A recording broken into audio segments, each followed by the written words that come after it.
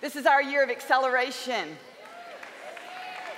Let's believe that as we go into this year of acceleration, that God is going to do extraordinary things in our life. Let's don't limit God because of our own ability, because of our resources, because we don't feel like we have what it takes to do something extraordinary. See, God has designed you and created you to be special, to be different. He's placed something on your life that gives you the advantage. Too often we limit God because we only look at ourselves. We don't look at God, we look at ourselves. I've fallen into this trap before, wanting to pray a big prayer, wanting to believe for something spectacular in my life, but stopping at the moment of faith because I look at myself and wonder could that really happen to me? Could I really accomplish something like that? See, our victories are not going to be won by our own strength. Our victories are going to be accomplished by God's favor.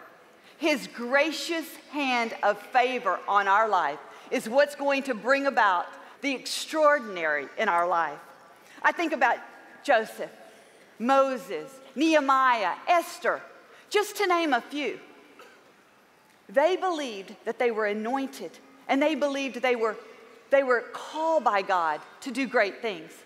Now, in the natural, on paper, they didn't hold a great position. They didn't have plenty of resources. They didn't necessarily come from the right family. But they believed this one thing that God had anointed them to do something great. Think about Joseph. He was a young boy doing great things, having an enjoyable life, when he realized his brothers despised him so much that they threw him in a pit and they sold him into slavery. His brothers despised him so much, they threw him in a pit and sold him into slavery. Let me ask you something. Have you ever heard yourself say, My boss doesn't like me. That's why I can't get the promotion. Oh, my in laws, they're pushing me down. My sister, the reason I'm the way I am is because she's always been so ugly to me. Oh, my husband, he never encourages me. Have you ever heard yourself say something like that? Maybe make up an excuse why you couldn't do something? Well, Joseph was sold into slavery. He ended up coming into Potiphar's house. Potiphar's wife accused him falsely of doing something he did not do. He landed himself in prison. See, through Joseph's ups and downs, he still believed he had the anointing of God. And do you know, Joseph ended up being second in command of all of Egypt? He was the one that was running the show. How could that have happened? How could that have happened? His brothers threw him in a pit. He became a slave. How did that happen? Moses, he was not even supposed to be alive. He, he was supposed to be killed as soon as he was born. You see, some people say this our generation is never going to do anything because you know what? There's too much evil out there. There's too many things going against them. This internet, these evil people, this generation will never make it. Well, Moses was never intended to make it.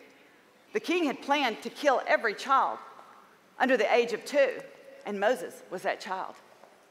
Moses tried to do something good, turned out bad. And he found himself wandering in the wilderness for 40 years. 40 years wandering in the wilderness. Some people think they've wasted their life. They think, man, I just haven't done anything. Nothing's happened for me. Well, Moses probably felt the exact same way. But he knew this he had the anointing of God on his life. He persuaded Pharaoh to let them go.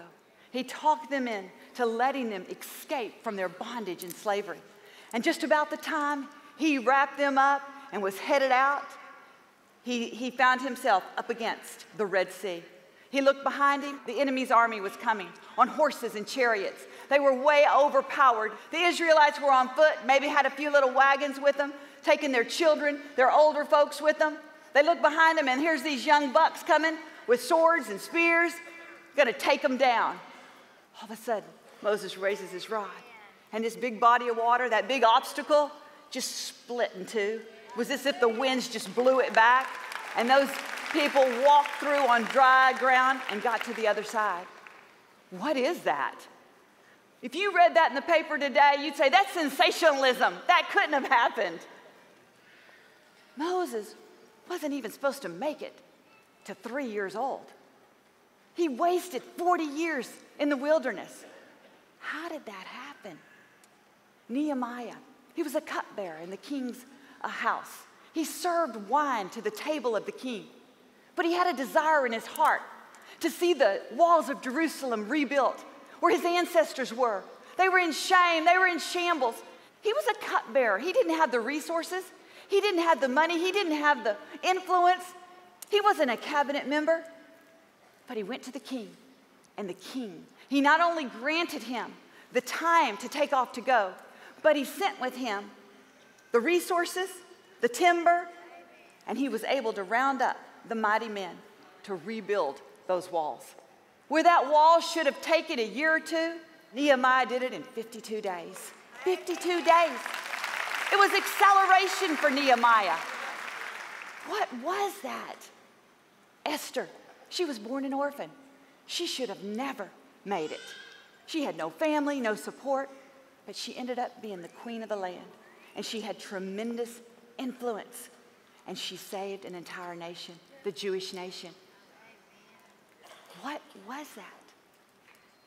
It was the gracious hand of God's favor.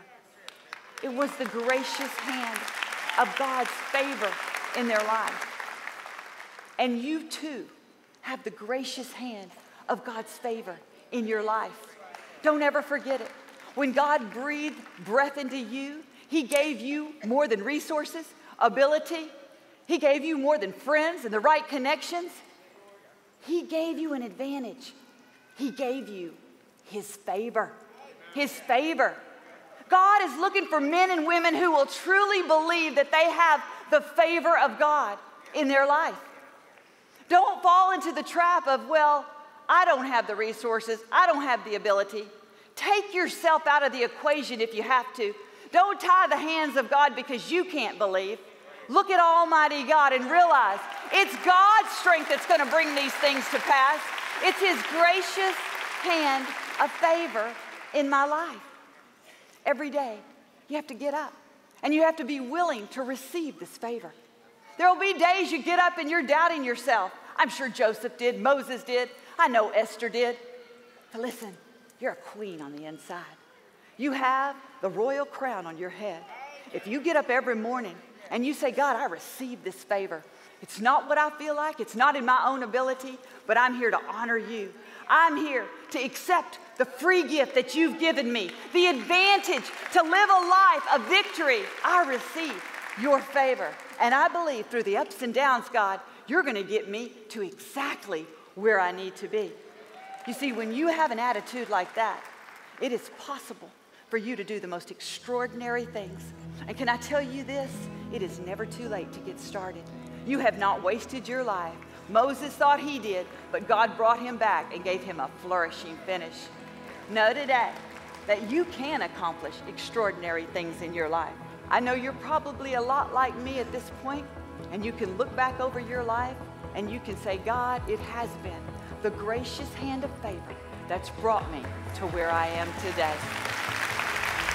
Thanks for being a part of our YouTube channel. We post new videos right here every week to keep you inspired and encouraged. When you subscribe to the channel, it helps to get the message of hope around the world. If you've been impacted by our ministry, let us know in the comments below and share this page with a friend. We also want to take a moment and thank you for all you do to support the ministry with your donations and offerings. You help keep the ministry going. When you give, I believe God will open the windows of heaven. You'll see His favor in new ways in your life. I know our best days are still up in front of us. We love you, and we'll see you next time.